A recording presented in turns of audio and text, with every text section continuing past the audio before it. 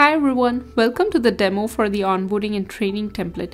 With a hybrid workforce, it is indeed harder to ensure a smooth onboarding experience. The template here helps engage with the employees with just the right amount of personalization through tailor-made onboarding experiences. The template has three personas, namely the app owner or the super admin who manages the app and the training library. Secondly, the manager or supervisor who creates an onboarding program for their staff and monitors progress. Thirdly, the staff member who reviews their training program and updates their progress. So let's get started with the demo. Let's start with the admin persona, which is at the highest permission level. In this persona, we have the following options. The staff training page, where you can review your staff members' progress. Next, you have the My Training page, where you can manage your assigned trainings and update status.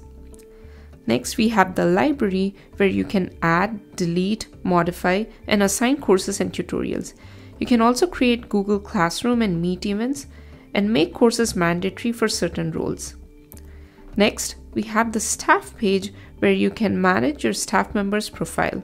The flag here denotes overdue courses for the staff member, and we can go check out why and perhaps reach out to the staff. Next, we have the Manage Roles and Subjects page where you can add, delete, modify roles in your organization and organize topics for training. This is important because you might want to auto assign courses under certain topics for a certain role. For example, one might want to make retail marketing courses required for all retail marketing staff members.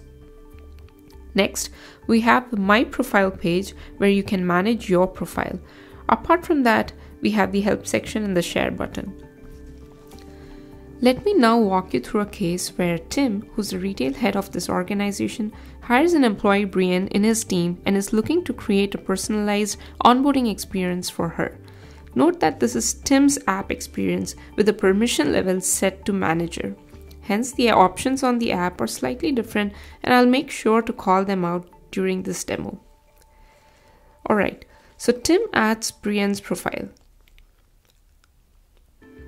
Note that in the permission level, he has only one option to choose from, that is the staff setting.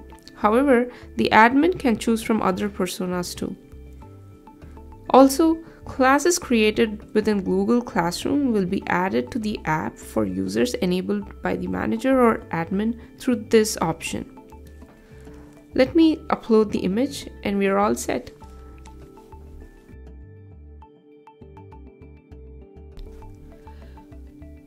Once he's done creating the profile, he goes to Brienne's profile and notices that the courses mandated for her role are auto assigned. He then assigns a few more courses tailor made for her profile. While Tim is on the staff page, he notices his other staff, Felix, is flagged for being overdue on training.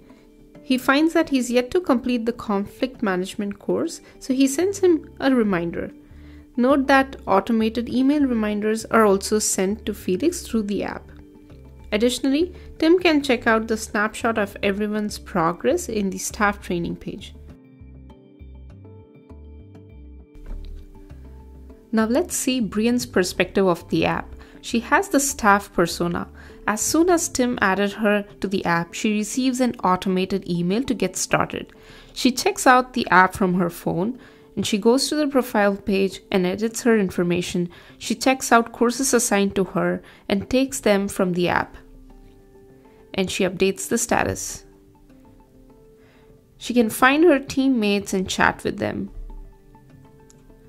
Finally, she can self enroll into courses and she can also check out the library for tutorials. One thing that I would like to mention is that the courses need not be typical and could even be process walkthroughs, say through a Google Meet event between two people.